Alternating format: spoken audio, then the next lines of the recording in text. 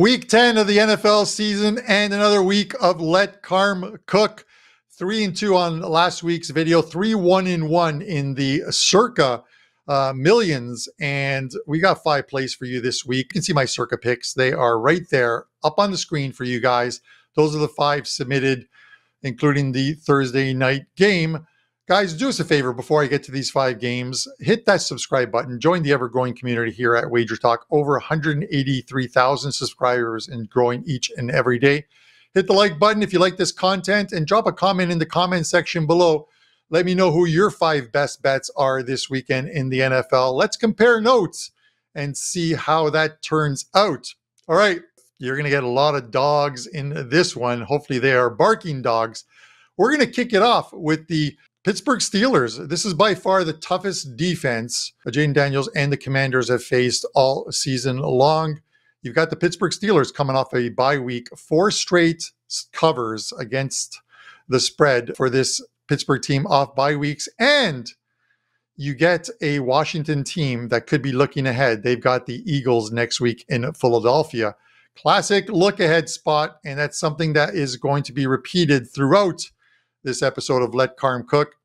Denver plus eight and a half. Now, do I think Denver is going to go and win this game? No, I don't. But I'm going to take the plus eight and a half here.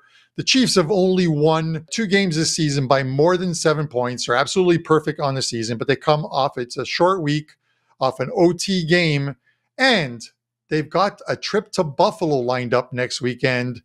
And you know, the Bills are waiting for them off of that uh, 27 uh, 24, I believe it was, playoff loss last season. So uh, it could be a classic look ahead spot here for the Chiefs as well, too. Give me the eight and a half points with Denver. Houston plus three and a half. Listen, we we caught Houston in a look ahead spot last week. We cashed with the Jets, and now we're flipping the script here. We're taking uh, a perfect 4 0 at home Houston team uh, they're getting three and a half points here against Detroit. And yes, I get it. Detroit is, and I mentioned it last week, looking like the best team in the league. But I'm going to take the plus three and a half points here with Houston to maintain that uh, perfect home record. And if they lose, they'll lose by a field goal. All right, Miami plus one and a half. Yes, this is the Monday night game. Miami's cooked. They are cooked. They are two and six after losing to the Bills. But that doesn't mean they can't still win games. They are playing the Rams, who are the benefactors of Geno Smith and his meltdown last weekend. Three INTs, one returned for a pick six. I expect Tua and the boys to be a little bit better. And uh, I'm going to take the plus one and a half here because I think they win this game outright. So give me Miami plus one and a half. And then the filling game, filling in for that Thursday game that I've got on my circa card. I am taking Indy, another dog and another look ahead spot, the Bills.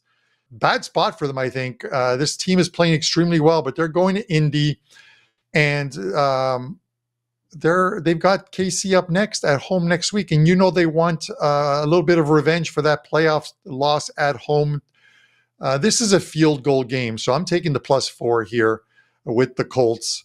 Four, five dogs, Pitt plus two and a half, Denver plus eight and a half, Houston plus three and a half, Miami plus one and a half, and Indy plus four. And it wouldn't surprise me if, at the very least, Miami come game time is a small favorite in that one, but we're getting them all at uh, dog prices right now.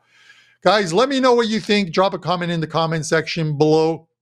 Hit that subscribe button. Join the ever growing community here at WagerTalk with uh, a lot of shows with actionable info and a lot of free play videos as well too. For myself and the WagerTalk family, this is Let Carm Cook. Let's have a winning weekend.